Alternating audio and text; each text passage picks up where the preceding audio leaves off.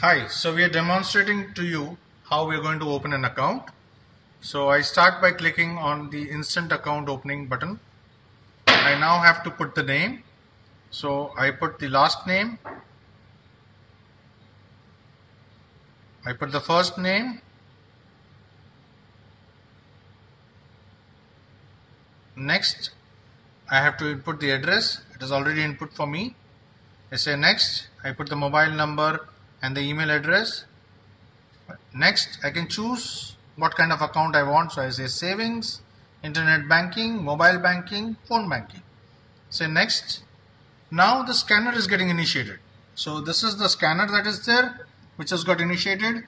And when I scan, so there is a document that is there, which gets seen. I can put one more document in, and I can scan, and you can see the other document is also here. Now I press next and the screen will now contact the agent who is there. And we have Neha as the agent and she'll come on.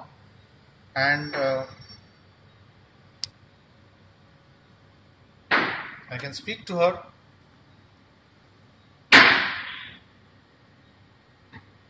Hello. So that's Neha. And uh, she's there. I can speak to her. And uh, now if you can see over here, we have the terms and conditions. So I need to agree to that. I agree to the terms and conditions. Now I have to sign. So I'm going to sign here. I say submit. Now my form is being printed.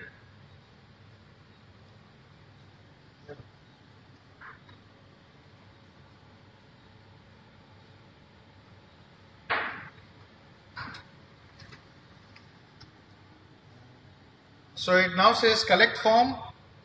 So I go and I collect the form. I have the form now which has got all the information that I put in. And now I'm going to sign the form. So I have signed the form. I have to scan it again. So I'm putting it in the scanner and I'm going to scan it.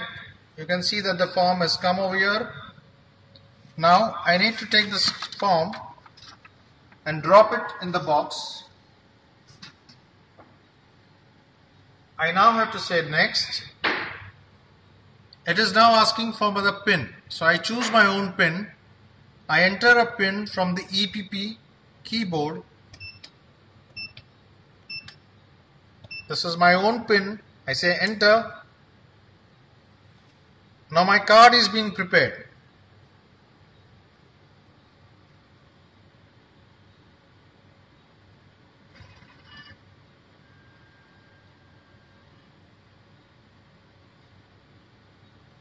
And as you can see the card is now dispensed.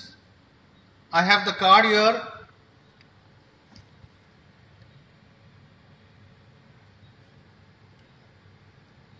And now you can do another transaction. Thank you